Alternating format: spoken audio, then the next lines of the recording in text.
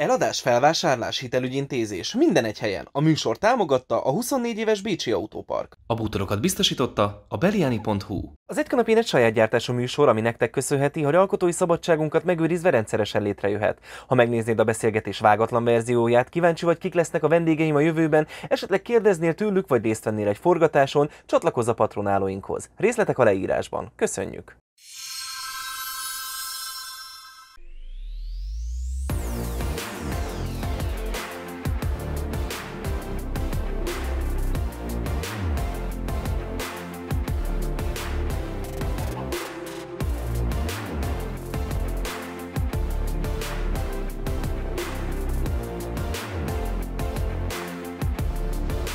Kanapén fekete győrandással. Üdvözletem mindenkinek, én Osváth Zsolt vagyok, ez pedig itt a Zsoltám YouTube csatorna. A, az előző hasonló jellegű beszélgetést is úgy kezdtem, hogy ö, 2010 akárhány volt egy rozéfröccsel, és az a baj, hogy most is ezt, ezt, ezt is így kell kezdenem, és rájöttem, hogy ahhoz, hogy én politizáljak, nekem innom kell. Persze nyilván nem szeretnék senkit erre sarkalni, de valójában ez a történet is úgy kezdődik, hogy 2018 a Deák téren megjöttek a választási eredmények, és hát ö, szomorúan konstatáltuk, hogy a Momentum akkor nem jutott be a parlamentbe, akkor én voltam Fekete Győr Andrásnál, most Fekete Győr András jött hozzám, itt van velem a Momentum elnöke. Hello! Szia! Hello! Na, még mielőtt belekezdenénk itt a nagy beszélgetésbe, muszáj feltennem a kérdést, hogy ő, ő, mik a terveid velem? Mert Zsolt, mit, mit szeretnél? Tehát, hogy érted, figyelj, ez, ez keresett kínálat, keresett kínálat, te mondod, hogy szeretnél, hogy mi legyen a tervem, én meg Jó. elmondom, hogy tudom-e, jó, figyelj, meg tudom-e valósítani. Adás végig kitalálom, ígérem, jó? Na, um, beszéljünk egy kicsit a gyerekkorodról. Azt uh, tudjuk, hogy uh, értelmiségi szülők gyereke vagy, ugye? Tehát, hogy, hogy uh, Igen, viszont uh, kicsit gondolkodom kell. igen. szülők? Igen, igen. Azért a gyerekkorod neked, hogy mondjam, tehát hogy elég szorgalmas volt, jó tanuló voltál, viszont ö, viszont nagyon rossz volt a magatartásod, tehát hogy azért nehezen lehetett ö, veled bírni. Viszont apukád meg elvileg elég keményen fogott, sőt, konzervatív nézeteket val, ebből a fekete győrandásból mennyi maradt meg? Tehát, hogy mondjuk, hogyha füstgránátozást leszámítjuk, akkor, akkor, akkor ez így mennyire, mennyire maradt, mennyi, mennyire vagy még rossz?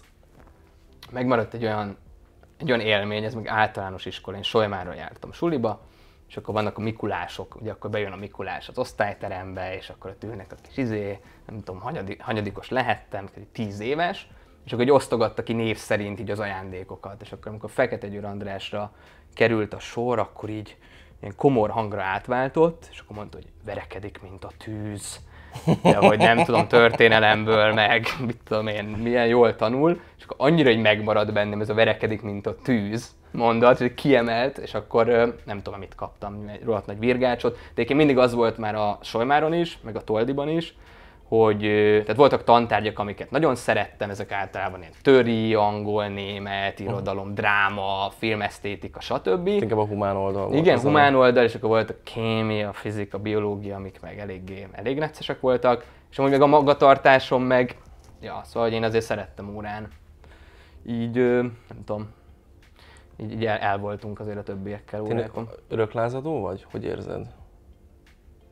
Hát öröktek nem tudom, hogy örök leszek-e, az biztos, hogy, hogy én nem akartam elmenni ebből az országból, és akkor inkább úgy voltam vele, hogy ha van két opcióm, hogy elmegyek külföldre, és akkor ott csinálok családot, ott élem le az életemet, vagy ha hazajövök, illetve itthon maradok, akkor viszont változtatok a, a jelenlegi helyzetet.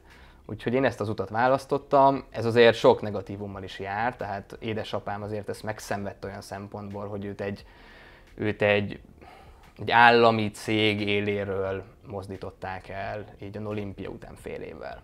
Ugye beszéltünk róla, hogy konzervatív nézeteket val, mégis ugye kétszer elvált, ugye? Igen. Az ő vállásuk mennyire viselt meg? Te azért akkor már egyetemista voltál. Tehát milyen a családdal, a szüleiddel a kapcsolat?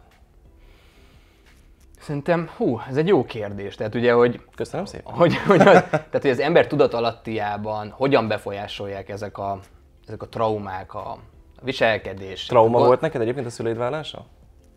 Nem. Uh-huh. nem éreztem annak. Nem éreztem annak. Én 20, nem is tudom, 2-3 éves voltam, tehát akkoriban én már elköltöztem a családi házból, és kint voltam Erasmuson Németországban, amikor ez az egész már így a, a tetőfokára hágott, és nem volt ez egy durva vállás. Tehát szerintem, szerintem ez ezen is múlik, hogy, hogy maguk a szülők ők hogyan tudnak, hogy mondjam, elegánsan szétválni egymástól. És az én szüleimnek ez sikerült így 24 év után. Szerintem ez sokat segített, és azóta is egyébként ők jól megvannak, mind a ketten itt élnek. Budapesten, külön egymástól, apukámnak van egy új barátnője, anyukám pedig keresi a, a nagy őt, vagy a, vagy a következő nagy őt. Apukádra vagy anyukádra hasonlítasz jobban szerinted? Mm, szint, ú, ezt nem tudom megmondani. Mind, mind a kettőtől azért örököltem dolgokat. Tehát apukám ez a... A vehemenciádat Apukám egy ilyen nagyon ilyen ilyen, hogy mondjam, ilyen, ilyen pénzügyileg stabil valaki, aki, aki figyel arra, hogy ne költekezz túl, legyen mindig megtakarításod, ne adósodj el. Te ilyen vagy, de inkább hedonista vagy? Egyébként, egyébként nem vagyok ilyen, tehát ő, ő, ő tud nagyvonalú lenni, lenni apukám, amikor olyan a helyzet. De egyébként ő nagyon megnézi, hogy most mit vesz meg, és akkor általában az olcsóbbat szokta. Én azért úgy vagyok vele, hogy azért figyelek a minőségre is, és sokkal többször vagyok nagyvonalú. Hát figyelj, fizut, Anyu... fizutokból lehet is, nem? Tehát azért abból... Az enyémből nem tudom. Én nem vagyok parlamenti neked... képviselő. Hát értem, de azokból lehet, nincsen... azokból lehet. Hát jó, de hát azért gondolom van a pártnak pénze, sem, nem? Enyém sem rossz. Én, én 350 ezer forint nettót keresek, ami szerintem egy, egy nagyon tisztes fizetés egyébként. Vannak neked testvéreid, és van egy féltesód, és van egy ő, édes testvéred, akivel volt is egy Facebook live-otok, ugye? Ő ő, ő már orvos, vagy ő még csak... Fú, Alexa, igen, tehát ő Londonban orvos, Hát de ilyen bonyolult a helyzet, tudod, mert nem tudom, el kell tölteni. Igen, mert nálunk ugye vannak még. az inasok, és csak utána jönnek az orvosok, és arra voltam kíváncsi, hogy talán inas? Ő vagy? szerintem az inas és, a, orvos között. És az asszonyság. És az asszonyság között, között, között van valahol. Van Mondtad az elején, hogy te, te nem akartál külföldre menni, meg te itthon akartál maradni, viszont hát csajozni rendszeresen külföldre jártál, ugye? Tehát, hogy az egyik barátnődet Hongkongba, másikat Németországba ismerted, meg akivel végül Franciaországba érted, tehát ilyen nagyon nagy multikult, így bejártad a, a, a világot, majd végül egyébként Magyarországon találtad meg a, egy magyar egy magyar, egy magyar nőnél, végül meg a igen, számításaidat. A, a számításaidat. Hát, hogy megtaláltad, de majd erről foglak téged kérdezni. Hogy kerültél egyáltalán Hongkongba? Hogy kerültél egyáltalán Párizsba? Tehát, hogy a hongkongi történet az úgy jött, hogy vannak nemzetközi jogi versenyek, perbeszéd versenynek hívják, uh-huh. és akkor az egyik ilyen az Hongkongban volt, és akkor ott az ELTE képviseletében a csapat egyik tagja voltam. És akkor ott ismertem meg az Asiát, aki egy szingapúri állampolgár, muszlim vallású, és, és indiai nemzetiségű. Tehát, na, ajj, tehát hogy ez ilyen nem tudom hány százaléka a, a, szingapúri lakosságnak. Mert tartott a dolog egy másfél éven keresztül másfél körülbelül. Ő járt Budapesten, de valójában egy távkapcsolat volt leginkább Aha. a dolog. Én még soha nem voltam Szingapurban sajnos, úgyhogy az, az, az, az elmaradt, de ő járt Budapesten, voltunk Olaszországban egyszer együtt, és akkor vége lett, és akkor jött az Anissa, hasonló neve, Assia, nem akinek néha. gyógyító, gyógyítót jelent az ő nevét. Van az Anissa, aki még francia-svájci kettős állampolgár, nem kevertem egyszer sem. Egyébként azt hiszem, négy és fél év alatt, négy és fél év alatt, és azért az, az, az bravúr. És az Anissa pedig az a lány volt életemben, aki először mutatta azt meg nekem, hogy nem csak srác barátok tudnak ilyen legjobb barátok lenni, hanem csajok is. És akkor néztem, hogy basszus, ez milyen jó ezzel a csajjal együtt lenni és az Erasmuson volt. De hát végül bebizonyosodott, hogy nem tud, hiszen... Megjött a kémia, és akkor volt nagyon jó négy és fél évünk, éltünk Budapesten is, éltünk Brüsszelben is. Meg, és ennek a kapcsolatban vetett véget a politika? És ennek vetett véget a olimpia.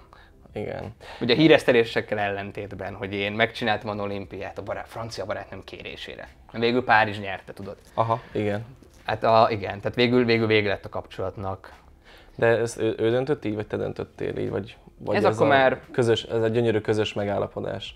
A mi kapcsolatunkat, ez az egész, hogy én politikai pályát választok, és politikai útra térek, ez már évekkel a olimpia előtt megvolt. Tehát körülbelül 2014 elejétől, és 2017 az olimpia. És ezt ő tudta, tudta, tudta, és ez egy ilyen tabu témává vált egy idő után, mert ő tudta azt, hogy ez közé, meg közém fog állni. Ez a történet, ez a momentum, és ez így történt. De hát tulajdonképpen neki köszönheted, illetve neki köszönhetik az emberek már, aki ezt köszöni, hogy, hogy te egy beszálltál a politikába, mert hogy egy ilyen, hogy mondjam, egy nagyon, nagyon rendezői kép, hogy egy dohos lakásban gondolkodtál azon, hogy, hogy já, láttad a jelenlegi ellenzéket, ugye, és, és azt mondtad, hogy ezt, ezt így nem, akkor már a Fideszből te kiábrándultál, de te bele voltál ábrándulva bármikor is a Fideszbe, tehát te voltál Fideszes? Igen. 2010-ben én még a Fideszre szavaztam. Én, én elég fideszes voltam, tehát amikor gim, gimis voltam, és ezt a családból hozom, mert a szüleim azok nagyon fideszesek voltak. Mai napig Fideszesek a szüleid? Nem. És ö, egyik kevésbé, mint a másik, de nem. Alapvetően. Öm, apukám volt a legviccesebb, mert ő a 18-as választásokkor, remélem megbocsátja, hogy most elmondom, 18-as választásokon ő listán a Momentumra szavazott, a jövőre, egyéniben pedig a Fideszre. Én ott visszaléptem, ez a budapesti egyes választókerület, ez a belváros, vár, stb. És akkor ott a, a Hollik volt a Fideszes jelölt. És én ott visszaléptem, és ő már nem volt hajlandó leszavazni akkor az LMP-s Csárdi Antalra. Úgyhogy apukám, ott röhögök, hogy jól van. Akkor még azért a múltjának is picit, meg a, a hagyatékának Ilyen is még konfliktusok nem szoktak bókolt. lenni emiatt köztetek?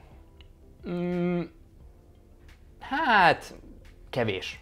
Kevés. Ő azért máshogy lát sok mindent. Tehát érted, aki, aki 90, azt hiszem 94 óta Fidesz szimpatizáns, aki 94 óta Fidesz szimpatizáns, attól azért nagyon nehezen veszed el ezt a, ezt a történetet, és fordítod át. Ezek nehéz dolgok. Jó, bár három éves voltam, de a 94-es Fidesz összesen hasonlítható a jelenlegi fidesz Há, persze. Sőt, egyébként ö, a igen, az első szavazásomon még én is a Fideszre szavaztam. E, igen, na de hogy tehát akkor bele voltál ábrándulva, és akkor abba a párizsi kis dohos lakásba megszületett a fejedbe, hogy te, te, Igen. te, te beszállsz a politikába. Igen, így, így van. Ez volt ö, 2014. január 15-én. Miért? tehát Annyi minden pontosan lehetett volna erre. belőled. én Erasmus után kezdtem el azon gondolkodni, hogy jó-e nekem az az ügyvédi pálya, ami azt rejti magában, hogy te a Coca-Cola-nak, vagy akármilyen cégnek, a magyar villamosműveknek a munkajogi ügyeit, a szerződéses ügyeit te, te megkötöd, meg megcsinálod, meg megoldod. És én azt éreztem már magamban, hogy nagyon-nagyon sok jogász van, de én nem tudom, mi lesz még az én utam, majd lesz valami. És én próbálgattam magamat itt-ott, ott. És 2014. január 15-én, amikor az Indexre felmentem, és akkor láttam, a, láttam azt a videót, ami az ellenzéki összefogásról szól. És akkor bennem volt egy ilyen érzés, hogy basszus, de most komolyan, tehát komolyan odáig jutott a magyar társadalom, hogy, kett, hogy 2010 és 14 közötti négy év után, ilyen pocsék Fideszes kormányzás után ezeket az embereket tudja csak kiállítani. Hol van az én nemzedékem? Hol vagyok ebben én képviselve? Én nem tudtam onnan senkire se szavazni. Nem is emlékszem, hogy kire szavaztam 2014-ben. És akkor ez mint a felgyújtották volna a lámpát, ezért emlékszem nagyon január 15-ére, mert ez egy nagyon erős érzés volt bennem, hogy oké, okay, ez az út, ezen kell járni, és meg kell szervezni azokat az ismerősöket, azokat a, a, a kortársakat, akik ugyanebben gondolkodnak, és akik úgy érzik, hogy politikai árvák, és nincs kire szavazniuk. És egyszerűen eljött a mi időnk. Tehát ez találkozott ezzel az érzéssel, hogy felnőttünk, eljött a mi időnk, csináljuk mi. Sokkal jobban tudjuk csinálni majd, mint ők. Tisztességgel, szeretettel, odaadással, jobban. És, és akkor ez így elkezdődött 14-ben. És akkor igazából onnan tudott elindulni. Tehát ez néhány embertől tudott kiindulni, és hálózat elmélet útján terjedt, tehát mindenki hozta a saját ismerőseit, akikről azt gondolta, hogy, hogy érdeklődik a politika iránt. És akkor megcsináltuk az első tábort, és akkor 60-an voltunk már, aztán már 120-an, és így szépen elkezdtünk növekedni, abszolút underground, tehát a föld alatt az egész. Miből volt erre a zseton egyébként? Semmiből. Nem volt zseton erre. Tehát, hogy ezt mi összedobtuk. Most az, hogy egy tábort megcsináljunk, mindenki befizet 15 ezer forintot, aki ott van szállásért, meg kajáért, vagy lehet, hogy többet, már nem emlékszem. Tehát semmilyen zseton nem volt. Én egészen szerintem 2000, hú, nem is tudom meddig, 18-ig ö, saját pénzből fizettem azt, hogy én momentumozom. Én dolgoztam multinál, dolgoztam külföldön, sehol se sokat, tehát tipikus Y generáció, hogy akkor mindenbe picit belenyalunk, de volt annyi pénzem, hogy így alacsony színvonalon, de el tudja magamat tartani másfél évig. Sokszor ér téged az a vád, hogy hát te nem nagyon dolgoztál, és kíváncsi is vagyok, hogy akkor miből politizáltál. Tehát mondtad, hogy a saját pénzedből, tehát hogyha nem, nem nagyon dolgoztál, vagy csak így immelámmal, akkor, akkor ez, ez, ez hogy lehetett kivitelezni? De, de dolgoztam, dolgoztam a General Electricnél, itt Magyarországon, dolgoztam a Nagy és Trócsányi ügyvédi irodában. Igen, de hogy ilyen kétkezű munkát bármikor is végeztél az életed során? Tehát, hogy kétkezi munkát. én csomagolt, egy, egy gyerek, ö, ö, gyerekruhákkal foglalkozó, vagy kereskedő cégnek csomagoltam gyerekzoknikat, meg egyéb ruhákat. Jó, tehát nem Ezeken- kérges a tenyered, maradjunk annyiban. Ö, max az edzéstől. Edz, most jársz edzeni? Kijátszottad a Most- rendszert? most- most Azt otthon hittem, hogy edzem. te is izé lettél Most tenisz, teniszvilágbajnok. vagy Lakásban, nem tudom. lakásban edzek. De most állítólag lehet, nem- nem fél perc lettem. alatt lehet papírt szerezni, hogy élsportoló vagy és olimpiára Tudom, készülsz. tudom. Azért kérdezem ezt, mert akkor ez esetben mennyire lehet hiteles egy olyan ember szájából mondjuk sokalni az ötnapos munkahetet, aki mondjuk az, az ötnapos munkahetet, az, az 5-12 órát azért nem feltétlenül tapasztalta meg hosszú távon. Hát hogy ne? Tehát, hogy én most is egy munkát végzek. Szóval ez egy tévhit, hogy, a, hogy egy politikus vagy egy pártelnök az nem munka. Nekem éppen ez az, ami, ami akkor azon az ominózus január 15-i este még így leesett, hogy mi magyarok, mi úgy tekintünk erre az egyébként szerintem hivatásra, hogy ezek tolvajok, ezek hazug, hazugok, ezek csalók. Ha valaki így tekint azokra az emberekre, akinek egyébként ő pénzt fizet azért, adó formájában, hogy azt ossza már el a hétköznapi szükségletek kielégítésére, akkor szerintem az nagyon gáz, amikor ez a politikához való hozzáállás. És egyébként a felelősök... 30 év tapasztalatunk így, így van van, benne. tehát a felelősök azok ott vannak fent. De hogy nekem meg az a felelősségem új arcként a politikában, hogy visszaadjam a politikának a gerincét. Én rohadt sokat dolgozom politikusként, nem heti 40-50 órát, hanem amikor, amikor olyan helyzet van, akkor heti 100-110 órát, átlagban pedig inkább 70-80-at. Tehát én, én tudom mi az, amikor nagyon sokat kell dolgozni. Most az, hogy most ezt valaki egy termőföldön, egy gyártószalagnál, vagy egy irodában csinálja, az nyilván különböző terhelés, különböző stressz, ez munkája válogatja. De munka az munka. És én örülnék annak, hogyha Magyarország távlati szempontból el tudna oda jutni, hogy nem heti 40 óra, hanem heti 32-34 óra is elég ahhoz, hogy te megtermeld azt a pénzt, amit most 40 órából termelsz meg. Ehhez nyilvánvalóan fejlődnie kell az ország versenyképességének. És a termelékenységnek, ugyebár. De erre kell haladni. Aki szeretné azt választani, hogy heti 70 órát dolgozik extra pénzért, az csinálja azt. De nekünk a munka vállalók oldalára kell állni a munkáltatókkal szemben.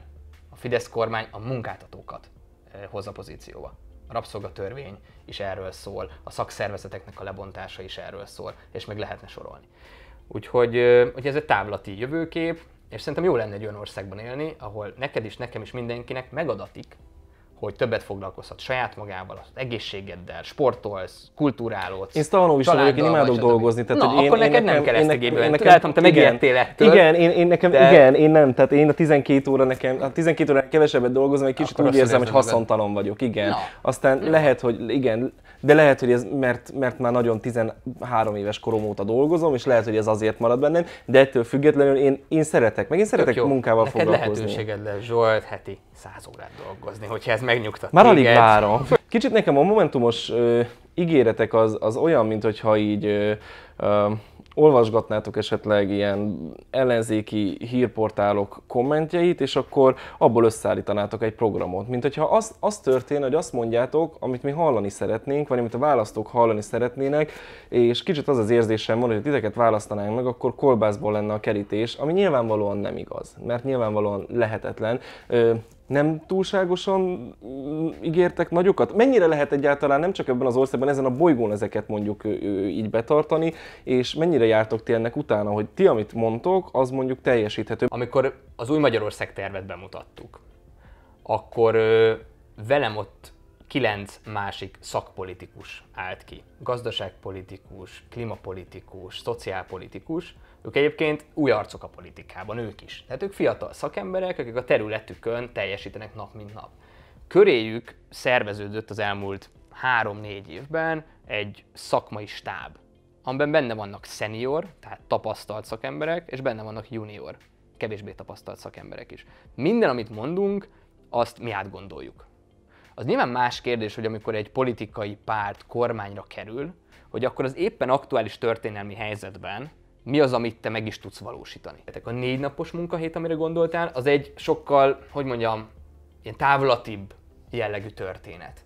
Amihez az kapcsolható, hogy mi támogatjuk a rugalmas munkavégzést. Ami egyébként pont most a Covid alatt zajlik. Ugye, hogy távmunkában dolgozol, részmunkaidőben dolgozol, szerintünk ez tök jó.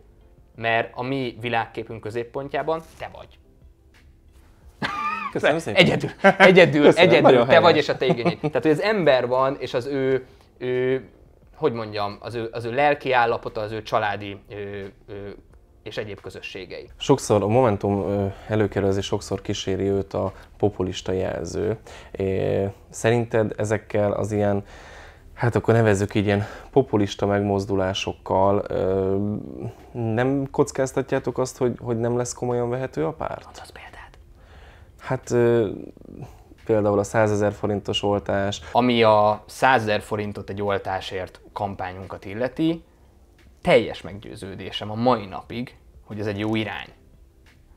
Lehet, hogy már oltás nélkül is adni kéne 100 000 forintot az embereknek. Hát nézzétek meg a többi országot, nézzétek meg nyugatot. És nehogy azt mondjátok nekem, hogy nincs erre pénz.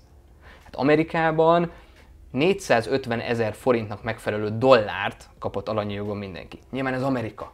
De én nem is 450 ezer forintról beszélek, hanem 100 ezerről. de, de bocs, az ez lehet, oltásért kaptak, vagy azért, hogy meg tudjanak élni? nem, azért hogy meg tudjanak élni. Hát nem mindegy, Na, na, de, de, hogy mi, de hogy mi összekötöttük ezt a kettőt, mert azt látjuk, hogy van egy egészségügyi válsághelyzet, amiből az oltáson keresztül vezet az út. Ugye legalább 7 millió embernek a beoltása szükséges ahhoz, hogy te, a társad, a barátaid, én, a családod ki tudjatok menni a- a- az utcára, ki tudjatok menni egymással találkozni. Na most, na most ehhez az kell, hogy az ember ösztökéje az embereket, hogy beoltsák magukat. És ha össze tudod kötni a megélhetést az, a beoltottsággal, akkor szerintem te két lehet ütöttél egy csapásra. És erről szólt a mi kezdeményezésünk.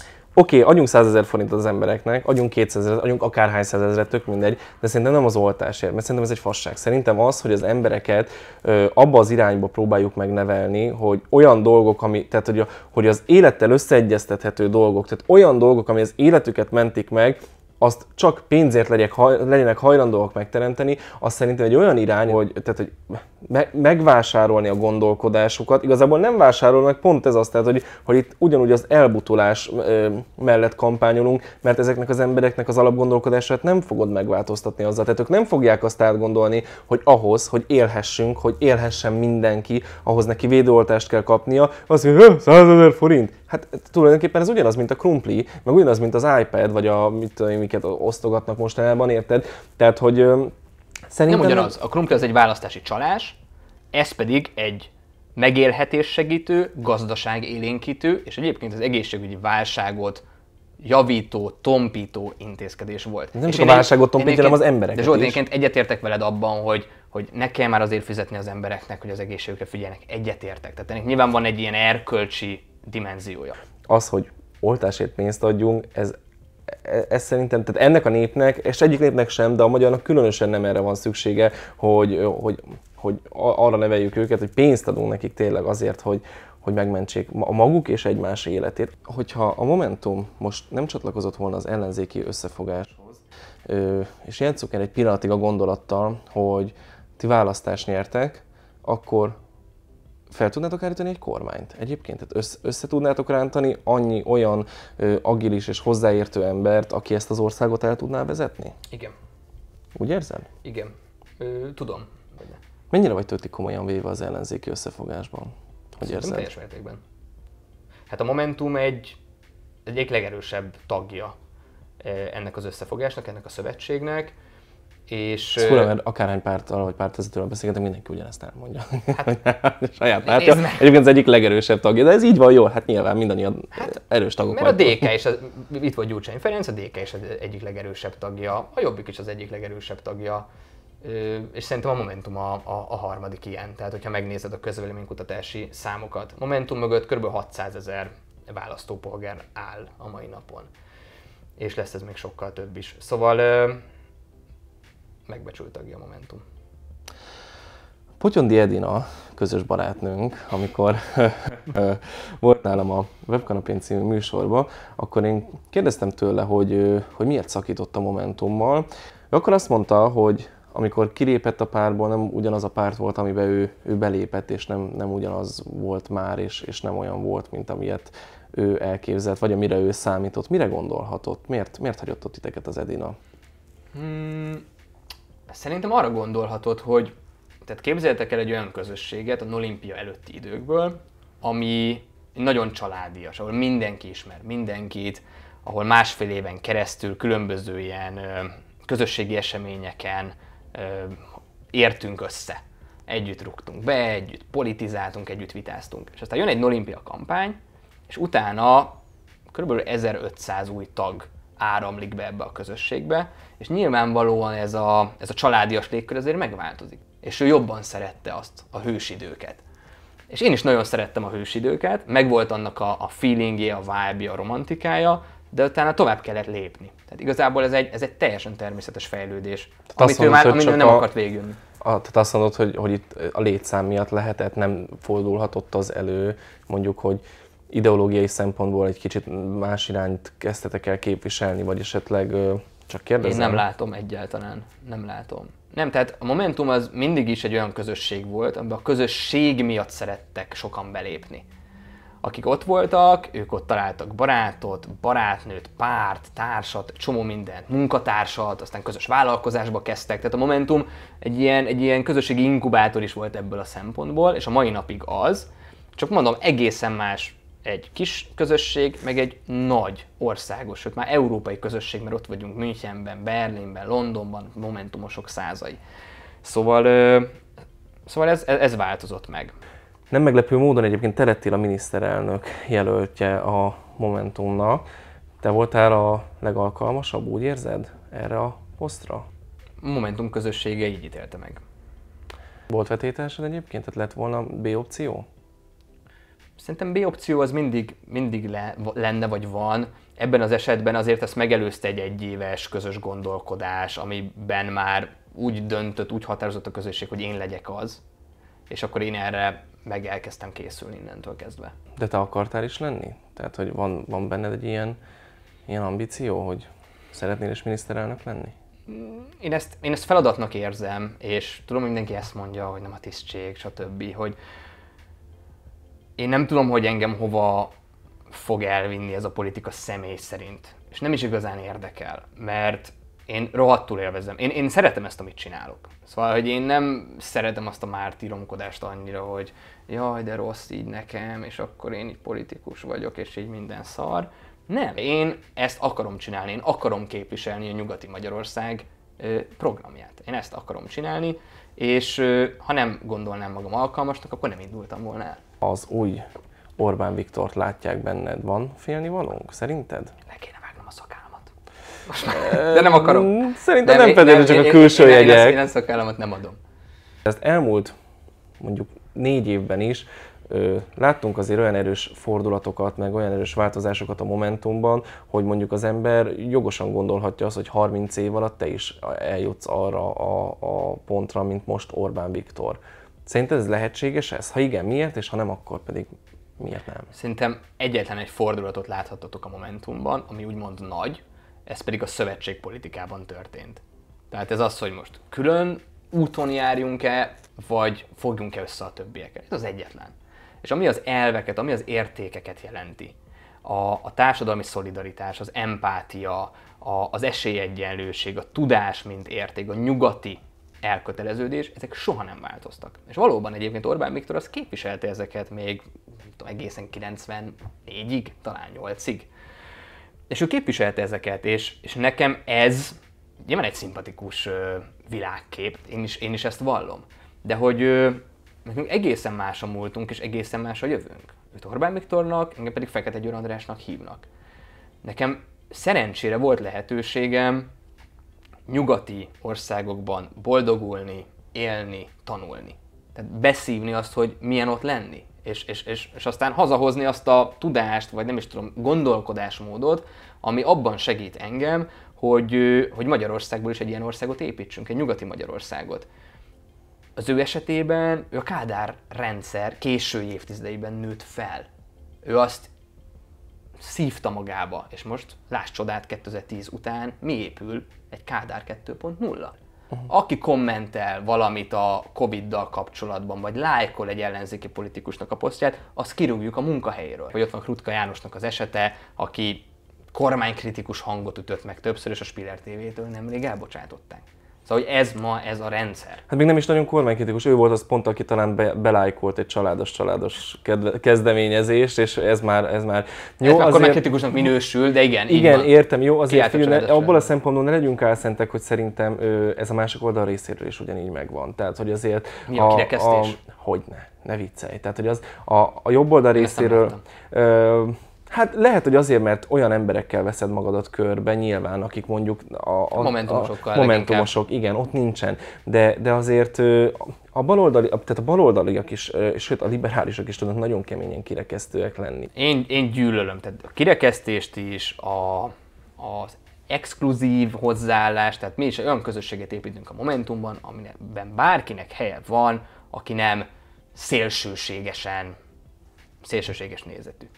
És na mindegy, szóval, hogy, szóval, hogy nagyon rossz felé megy de az ha valaki ország. szélsőségesen liberális, az még oké a Momentumnál? Nem, tehát itt, itt, itt szélsőségesen, tehát ná- náci, vagy, vagy rasszista, itt ilyen emberekre gondoltam. De mondjuk, aki nem ért egyet, Homofób, antiszemita, tehát itt ezekre gondoltam. de aki nem ért egyet mondjuk a, a melegek örökbefogadásával, vagy melegek házasságával, ő lehet momentumos? Nem kisebbségben vannak a Momentumban olyanok, akik, akik mondjuk ezzel nem értenek egyet, tehát erre a válaszom az, hogy igen. Uh-huh. Szerinted van olyan dolog, amit jól csinál a Fidesz?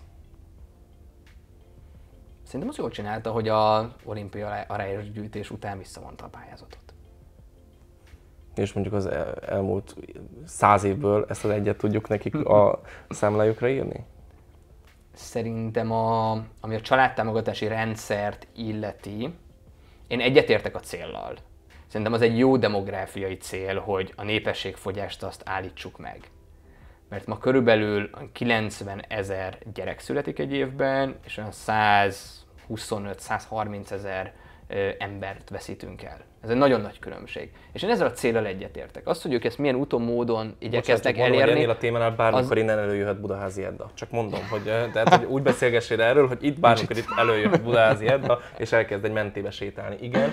Szóval, hogy, szóval én ezzel egyetértek, viszont a hozzárendelt intézkedésekkel nem. De mondjuk a nagyszülői gyed, mint olyan, ezzel, ezzel én nagyon tudok szimpatizálni. 2017-ben még egészen pontosan nem biztos, hogy így, de úgy emlékszem, hogy úgy fogalmaztál, hogy, hogy, hogy Gyurcsányt takarodjon a közéletből, meg hogy nem értetett, hogy ő, álljon le a politikával, most pedig ugye mégiscsak szövetségre léptetek.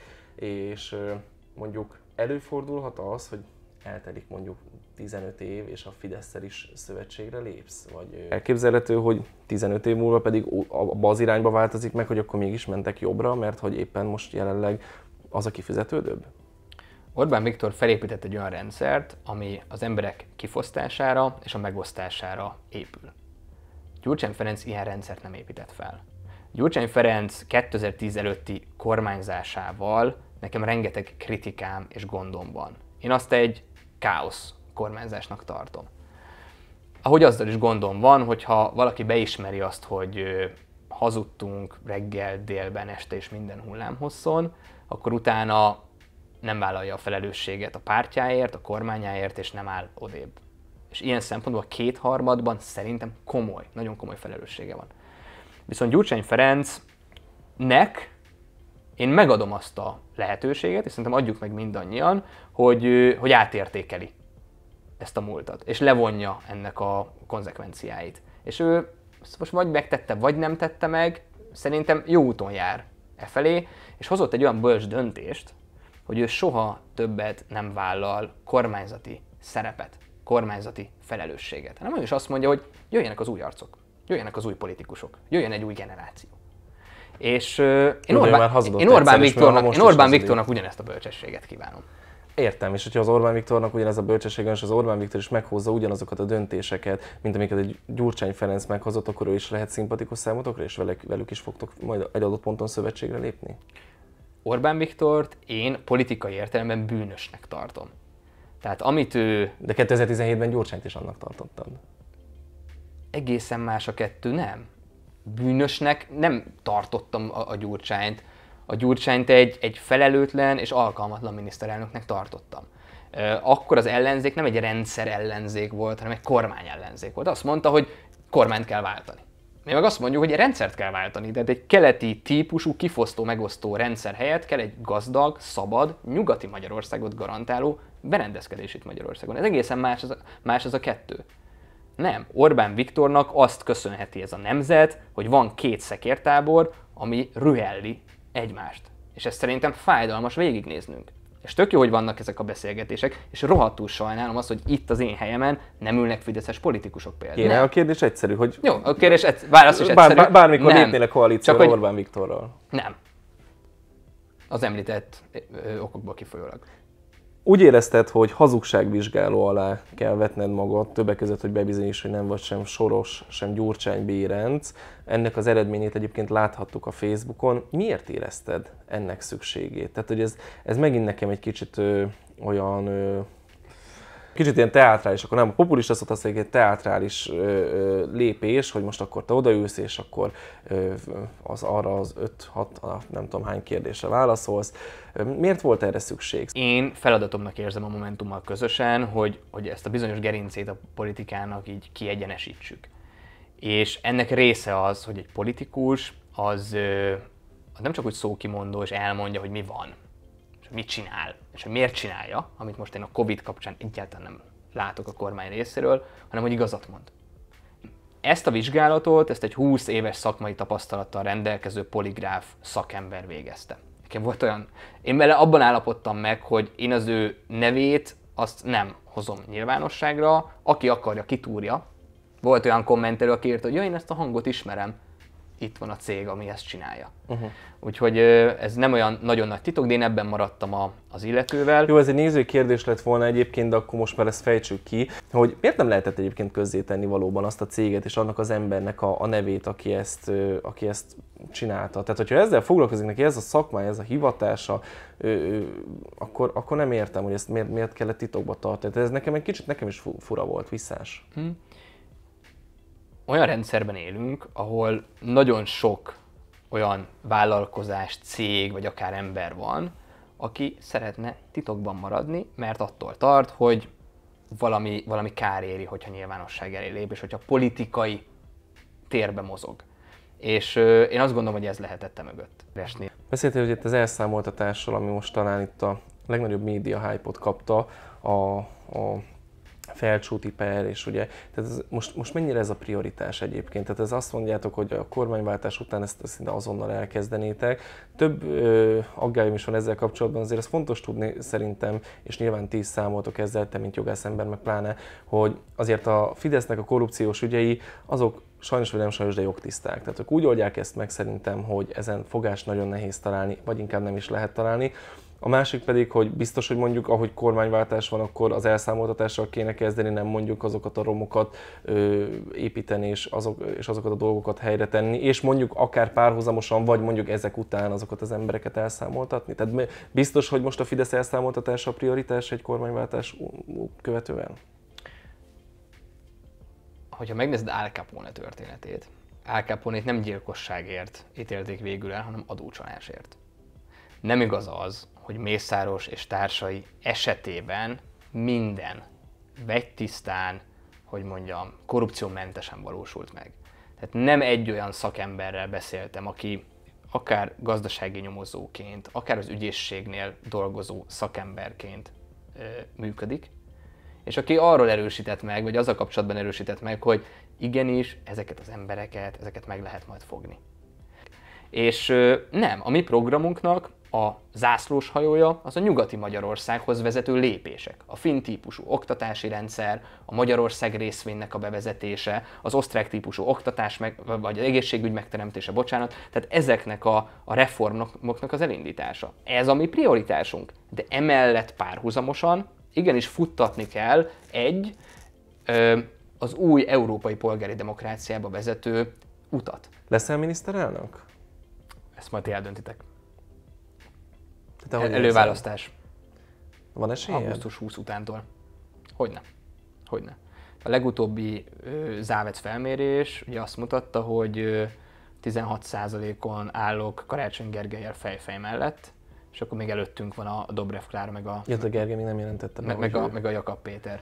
nem jelentette be, hogy ő még nem akar miniszterelnök jelölt lenni, aztán mégis az lesz nyilván, de hogy, hogy, ez még, hogy, ez még, hogy ez még nem történt meg. Az én személyes véleményem egyébként az, hogy nem ebben a ciklusban ne leszel miniszterelnök. Tehát, hogy és lehet, hogy mondjuk csak az Orbán párhuzam miatt, ami egyébként kétségtelenül megvan. Tehát, hogy nem, nem tudom, hogy te érzed-e, vagy te így látod ezt magatokban, de, de, de megvan, és most ezt pozitív értelemben mondom, mert független attól, ahova jutott most Orbán Viktor, én az egyik legkiválóbb politikusnak gondolom az országban, és egyébként a világon is. Tehát, hogy, hogy nagyon sajnálom, hogy már nem azt képvisel, amit annó képviselt, ettől függetlenül viszont ö, ö, hihetetlenül helyén van a pali. Tehát, hogy, hogy egy politikus legyen olyan, mint az Orbán Viktor, csak ne feltétlenül ezekkel a nézetekkel. Ö, Na de mindegy. Ö, Ezt Ő a egy gondol- hatalompolitikus. Igen. Hát Egy most, hatalompolitikus. most jelenleg És igen. nem egy államférfi. És szerintem nagyon nagy különbség van a kettő között. Azt szerintem az ember úgy szeretne visszavonulni, hogy én, én megteremtettem mondjuk az alapjait annak, hogy 2040-ben a magyar diákok, akik kilépnek az iskolából, ők tudjanak kritikusan gondolkodni, csapatban dolgozni, nyelveket beszéljenek, és legyenek digitális ismereteik. Ez egy olyan dolog, amire azt tudom mondani, hogy oké, okay, elvégeztem a feladatomat. Köszönöm szépen.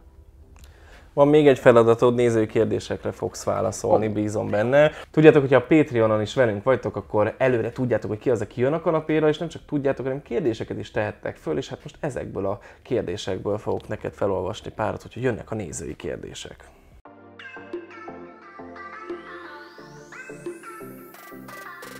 Momentum csak a fiatalokat szólítja, meg csak rájuk támaszkodik, vagy esetleg az idősebb generáció felé is erősen nyomulnak, esetleg számít tőlük is a szavazatra. Arra gondolok, hogy például Fekete Győr Andrásnak előbb volt TikTok profilja, mint Twittere. Ez egy jó meglátás, ez valóban így volt. Nekem van mindenféle profilom, tehát Facebookon leginkább egyébként a, már az idősebbek ket éri el az ember. Én az Instagramot szeretem leginkább használni egyébként.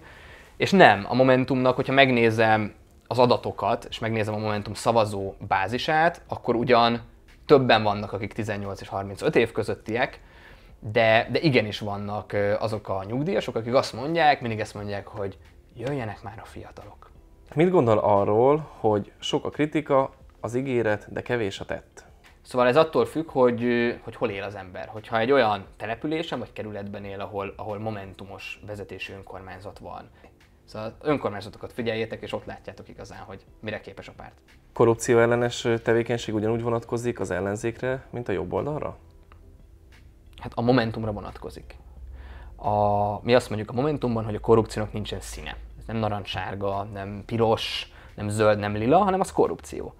És jó pár példát tudok nektek mondani a, az elmúlt egy évből, például Paróca Janikó Kispesten, ő neki ment az ellenzéki vagyonkezelőnek a vezetőjének. Ott van Ceglédi Csaba, aki a DK-nak a, az ügyvédje, akivel szemben két kerületben és a 11-ben meg a 7. kerületben kikeltünk, hogy na, tehát egy, egy, egy törvényesen, jogerősen elítélt emberről van szó, aki adó, adót csalt. Szóval ilyet nem szeretnénk az önkormányzat közelében látni. Úgyhogy vannak, vannak igenis példák. Mi inspirál téged?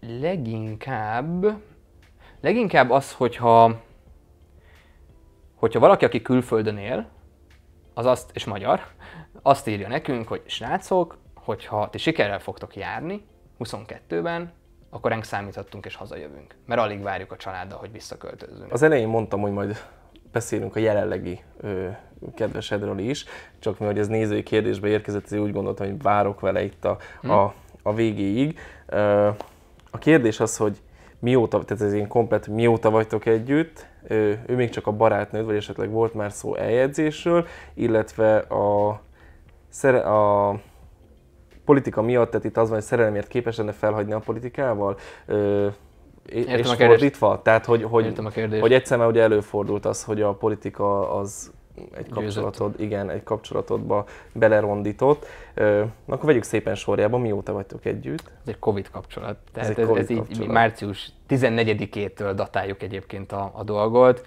azután néhány nappal jött az első És a karantén. Momentum egyik fotósa, ugye? Tehát úgy ismerkedtek meg. Nem, ő a Momentumban dolgozott, dolgozik, ő fotós is, meg közgazdász végzettségű Áginak hívják, Simon Áginak hívják, és ő egy ilyen kreatívabb elme egyébként, ő az Instagramban segített, a Momentum ott, erősebben jelen legyen, meg projekteket menedzsel, sok mindent csinál az Ági. Üm, és akkor igen, mi már ismerjük egymást két éve, de tavaly történt meg a, az összejövetel, úgyhogy ez most már több mint egy éve tart, most voltunk egy évesek nemrég. Igen. Itt meg az eljegyzés talán ő- korai elé. Tehát az eljegyzés az még korai, de hogy De már mondjam, ez egy nagyon stabil... Ez, ez nem áll terhes. És szerelemért képes lennél felhagyni a politikával? Vagy politika miatt képes lennél felhagyni a szerelemmel? Én, én mind a kettőt szeretném. Mind a kettőt szeretném, és szerintem mind a kettőre van lehetőség, csak meg kell találni azt a társat, akivel, akivel ezt ki tudod alakítani. És a szokásos utolsó kérdés, mik a terveid? Mondjuk így tíz éven belül, egy tíz éves Széchenyi tervet mondj, mondj nekem. Tehát ugye, ugye kérdés az, hogy ugye politikus vagyok, és valami irányba haladok, akkor milyen országba élnék, akkor én azt szeretném, hogy tíz év múlva Magyarországon mi már euróval fizethessünk, és úgy érezzük, van egy erős valutánk, és ott vagyunk Európa magjában, az eurozóna tagállamok között. Én azt szeretném, hogy az ak- akkor már lesznek gyerekeim, és ők valahol suli előtt lesznek majd, de ugye olyan suliba fognak menni, ahol, ö, ahol nem ez a lexikális biflázás lesz, hanem, hanem, hanem képesség alapú. Oktatás, és tudom azt, hogy jó kezekben vannak. És ők a 21. században helyet fognak állni. Um, és azt is szeretném, hogyha majd egyszer idős leszek, akkor nem kell félnem attól, hogy ha befekszem egy kórházba, akkor kifekszem, hanem Uh-huh. hogy ott, hogy ott meg, meg leszek gyógyítva. Úgyhogy ez, ami a polit, vagy ami az országot illeti, én meg szeretnék egy olyan, nem tudom, családi házat, vagy egy olyan lakást, aminek van kertrésze, mert az most nincsen, és az itt tökre Hogy tudja hiányzik. grillezni. Hogy tudjak grillezni, igen, tehát meg, meg, hogy tudjak tartani kutyát, mert most nem tudok. Lakás, vagy, vagy ha lakásba én nem szeretnék. Igen, a, őt, szer- kicsit őt szeretném, mert ő, na- ő, ő, nagyon, ő nagyon fél, és ez nagy kihívás. Szóval, hogy igen, és kutyákat is szeretnék, és gyerekeket is szeretnék, és, és, és egyenes gerincet. Úgyhogy valahol itt váltam magam tíz év múlva. Kívánom neked azt, hogy, hogy, hogy ugord meg, és Köszönöm hát szépen. sok sikert majd a kampányidőszakra, az előválasztásokra. Nektek pedig azt kívánom, hogy iratkozzatok fel bátran, és hát kommenteljetek, lájkoljatok, csináljatok, amit akartok a Andrásnak és a Momentumnak itt az elérhetőséget megtaláljátok a videó alatt. Köszönöm szépen, hogy velem tartottatok, találkozunk jövő héten, ne felejtjétek még egy jó darabig, minden héten egy kanapé. Legyetek jók, sziasztok! Sziasztok!